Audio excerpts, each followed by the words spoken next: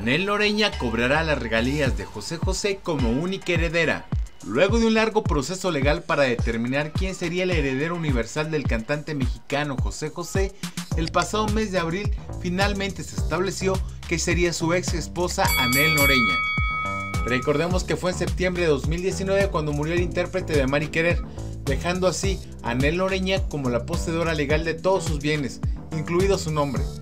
Sin embargo, el proceso legal es largo, por lo que Anel Loreña tenía que realizar una serie de documentación para poder cobrar lo que por ley le pertenece. En una reciente emisión de Ventaneando se dio a conocer que Anel Loreña ya tuvo una cita con el Servicio de Administración Tributaria. Esto con la finalidad de poder cobrar a la disquera Sony las regalías por la venta de los discos de José José.